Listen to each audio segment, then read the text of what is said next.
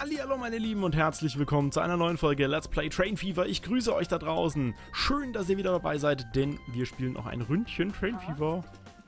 Ha. 28, gucken wir mal gerade, 42 sind aktuell drin. Ich schaue mir jetzt mal gerade unser Budget an. Warte mal, wir müssen mal ein bisschen Geld, äh, bisschen Schulden zurückzahlen. Eine Million ungefähr haben wir jetzt noch offen. Das sollten natürlich die Zinsen auch äh, halbieren. Statt 30.000 zahlen wir jetzt eben nur noch 15.000. Das ist auch schon mal eine feine Geschichte, weil denn auch die Zinsen schleppen wir ja die ganze Zeit mit uns. Die müssen auch weg. Wollen ja nicht mit Schulden hier leben. Und jetzt kommt halt, äh, jetzt funktioniert das mal so, wie ich das eigentlich ursprünglich haben wollte, dass hier wirklich permanent irgendwie ein Fahrzeug ankommt und wieder neu einlädt. Dass die hier gar nicht arg rumlang, lang rumstehen müssen, sondern dass hier wirklich dann Action auf dem, auf, der, auf dem Gleis ist. 33 stehen nämlich noch an der Zentrallinie an. Das ist schon ordentlich. Und auch die Westlinie kommt so langsam hin. Die Stolpenmitte hier oben, die macht noch ein bisschen... macht weniger guten Eindruck, aber das, naja, gut. Das ist am Anfang jetzt halt. Wenn die Fahrzeuge größer werden, machen die auch ein bisschen mehr. Versuchen wir das mal zu verfolgen. Es kommen 34 Leute gerade hier an. Und es gehen 30 wieder mit. Okay, das ist, hat sich jetzt so ein bisschen eingependelt. Das ist für diese, Zug, für diese Zuggröße auch in Ordnung. Eine halbe Million plus ist hey, echt mega, ne? So. Okay, checken wir mal kurz die Lage. Wir machen mal wieder so 300.000 weniger. Wie gesagt, oberstes Ziel jetzt erstmal Schuldenschnitt. Absolut frei sein, damit wir da gar nicht mehr so groß Geld einfach verbrennen. Ja, momentan läuft es auch. Wir müssen natürlich Rücklagen bilden, denn ewig funktioniert das, was wir hier tun, auch nicht. Ne? Also, das ist so ein bisschen das Gespür, was da, was da ähm, drin sein muss.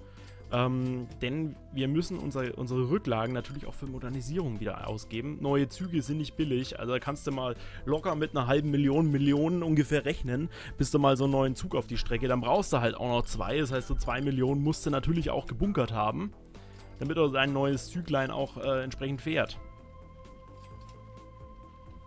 Und größere Zuglinien machen jetzt im Augenblick noch überhaupt keinen Sinn. Also alles über 40 ist sowieso Wahnsinn, weil ähm, die der öffentliche Nahverkehr in der Stadt kriegt nicht mit seinen vier Kapazitäten. Da musste er, da musste er nochmal fünf, fünf Fahrzeuge mehr draufsetzen, damit das überhaupt hinhaut. Ich kann, könnten das ja eigentlich mal kurz auf einer Linie probieren. Die Zentrallinie, es läuft eigentlich ganz gut, aber da könnten wir jetzt nochmal ein Fahrzeug mehr drauf geben. So, dann haben wir da nämlich auch ein bisschen mehr und ihr seht schon, dann geht es nämlich plötzlich auf einen Schlag, kommen dann mehr Leute an. Noch mehr. Weil ein Fahrzeug mehr einfach drauf ist. Und das merkt man ganz, ganz massiv bei solchen Strecken. Später dann noch, noch mehr, weil dann die Fahrzeuge nicht mehr 4, sondern 40 Leute mitnehmen. Ja gut, ganz so viele vielleicht doch nicht, aber so in die Richtung. Ihr wisst, was ich meine. Wir haben 700.000. Sparen wir noch ein bisschen. Dann gehen wir wieder so 200.000, 300.000. Schmeißen wir dann wieder in, äh, in unsere Schulden. Oh yeah. Okay, jetzt können, wir, jetzt können wir schon mal was verhältnismäßig Anständiges machen. Wir könnten jetzt hergehen und uns überlegen, auf den Zentrallinien, in dem Fall Stolpen zum Beispiel, machen wir einen Ersatz. Und zwar, wir machen ein anständiges Fahrzeug hier drauf als Ersatzwagen. Und auch auf der Linie hier kommt ein anständiges als Ersatzwagen drauf. Nur auf den Hauptrouten. Auf den Nebenrouten will ich noch gar nichts davon wissen. Weil die Dinger sind nämlich gar nicht schlecht. Ich weiß es halt jetzt im Augenblick. Ich kann es euch ja mal zeigen. Und zwar, das sind diese hier. Französin. Eine Französin. 60.000 kostet eine. Nimmt sechs Passagiere mit. Unterhalt ist immens. Der ist allerdings auch nicht schlecht. Der Double-Decker. Den ändern wir auf einen Doppeldecker. Der kann nämlich 20 Leute transportieren. Das ist natürlich noch viel irrsinniger tun wir das weg und machen den Doppeldecker drauf.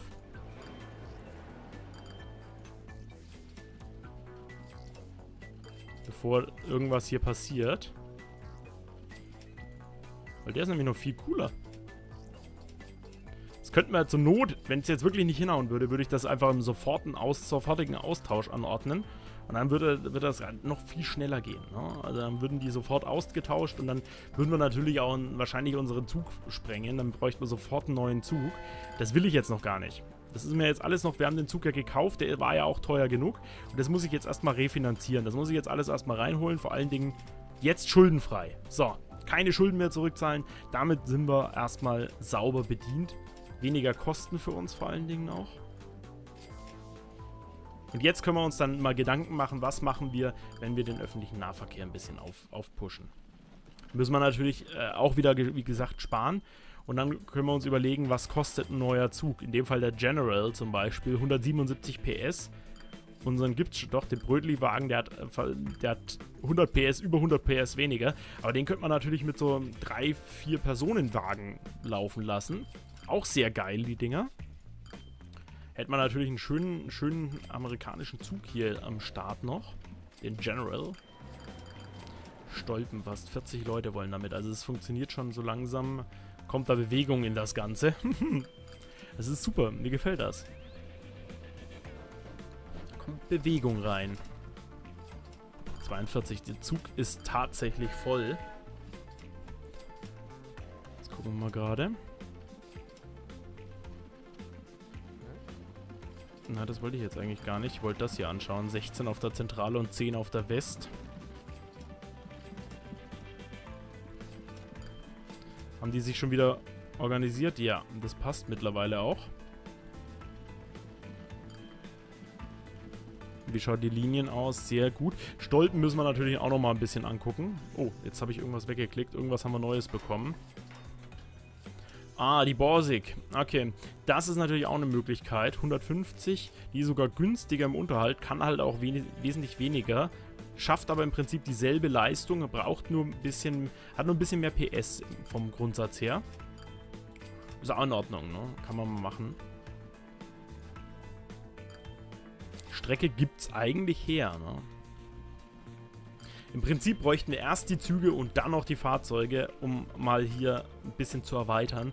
Was man tendenziell allerdings auch machen kann, ist jetzt allerdings so ein, so ein könnte, könnte, hätte, wenn, ja, dass wir hier einfach nach Bopfingen hinten rausgehen und einen Bahnhof vergrößern. Dass wir einfach sagen, wir reißen den Bahnhof so wie jetzt ab, bauen hier noch einfach einen zweigleisigen Bahnhof her, lassen eine Spur auf dem einen Ende und eine auf dem anderen rausgehen und machen Bopfingen, schließen Bopfingen an. Beziehungsweise war es dritte Möglichkeit, einen dreigleisigen Bahnhof zu bauen. Eine Spur geht nach Bopfingen weiter, die andere geht nach Hofheim am Taunus hoch. Dann hätten wir hier 1, 2, 3 Linien, die hier in, in Titisee landen würden. Da hätten wir da natürlich auch einen, einen Durchsatz erreicht. Ne? Müssten wir allerdings erstmal hier unser Depot platt machen. Und die Züge sind auch nicht groß. Also, ob sich die Investition auf lange Sicht lohnen wird, ich bin mir fast nicht sicher. Ich glaube fast nicht. Vorher haben wir natürlich deutlich höhere Kosten, indem wir natürlich auch erstmal hier unsere ganzen Fahrzeuge mal erneuern, runterneuern müssen. Momentan, wie gesagt, es funktioniert alles irgendwie, aber nicht schön. Das ist alles eine ganz knappe Geschichte hier auch.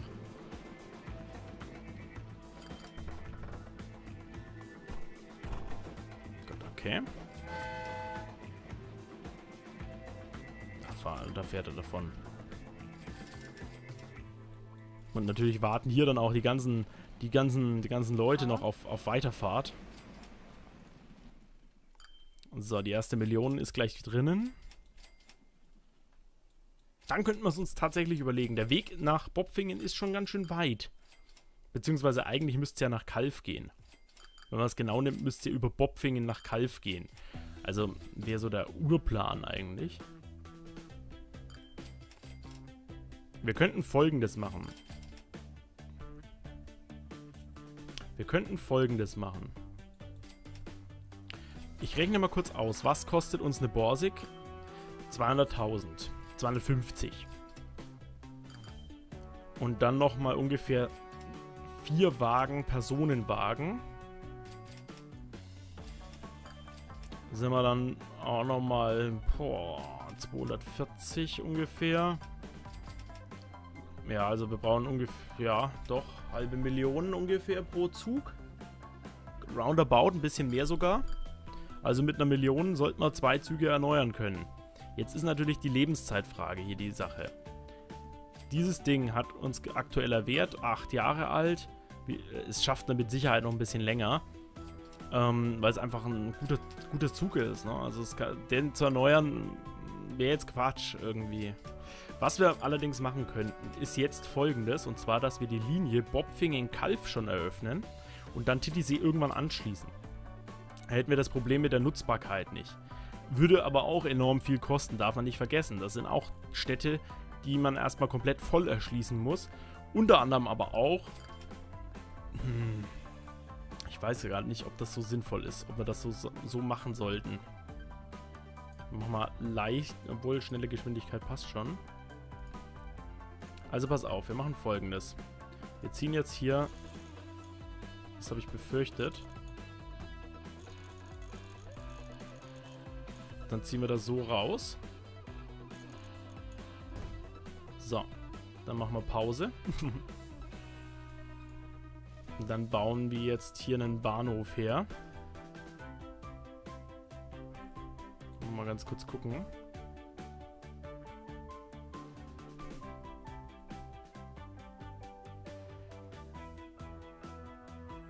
Ungefähr so.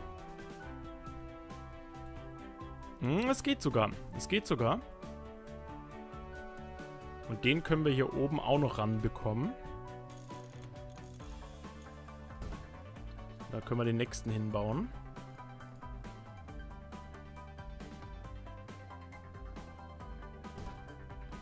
Dann schließen wir das jetzt einfach mal an.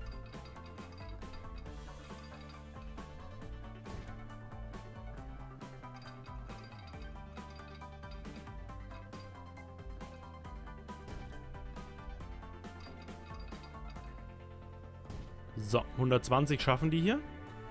Ist kein Problem. Okay. Okay, okay, okay. Schaut schon ganz gut aus.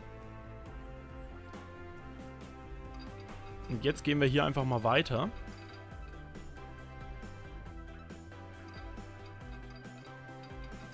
Was kostet da so viel? Ach, der Einschnitt hier kostet so viel. Okay. Und das ist unser Anschluss im Prinzip. So müssen wir reinkommen. So. Okay, bevor die Stadt nämlich hier weiter wächst, haben wir nämlich ein dickes Problem.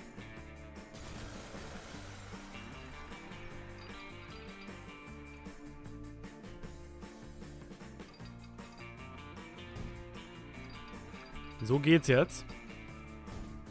Okay. Folgendes Folgendes ist jetzt der Plan. Wir bauen das neue Depot schon auf, weil sonst können wir nämlich nicht mehr hier schön erweitern. Bauen das da hinten einfach her. Das muss eh neu gestaltet werden, da sind wir uns alle einig. Zumindest später. Im Augenblick noch nicht. Im Augenblick können wir uns überlegen, ob wir einfach die Linie an sich vergrößern. Dass wir sagen, eins, also eins, zwei, drei Fahrzeuge diese lange Strecke abfahren lassen. Vielleicht vier, weil es vier Städte sind. Müssen wir immer warten, bis der von Kalf nach Bobfingen gefahren ist beispielsweise und dann den nächsten draufschicken. Dass die immer den Abstand haben. Und dann schicken wir die einfach hier durch. Das Problem ist, es funktioniert nur, wenn wir auf jedem Teilstück hier mindestens eine Doppelstrecke haben.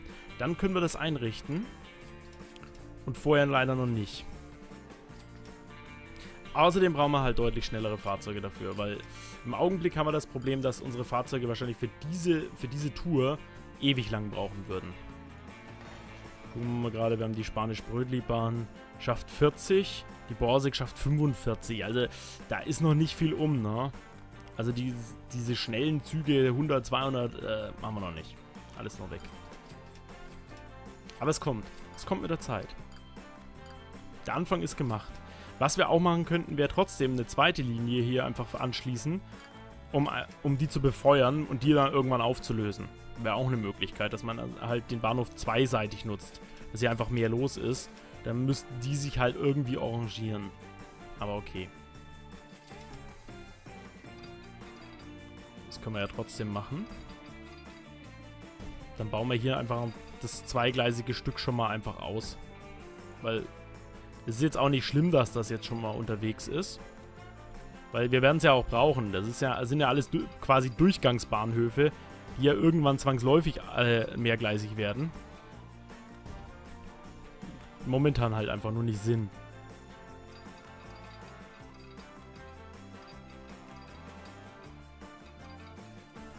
Warte mal kurz, hier haben wir ein Problemchen. Hier geht uns die Geschwindigkeit runter. Wo ist denn da... Oh, oh, oh, Geld, Geld, Geld. Andere Probleme, andere Sorgen. Kurz checken.